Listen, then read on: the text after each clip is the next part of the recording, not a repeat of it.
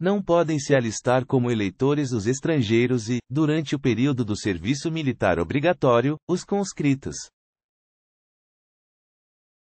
Analisando a questão, você responde: verdadeiro ou falso?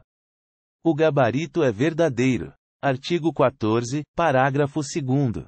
Não podem alistar-se como eleitores os estrangeiros e, durante o período do serviço militar obrigatório, os conscritos.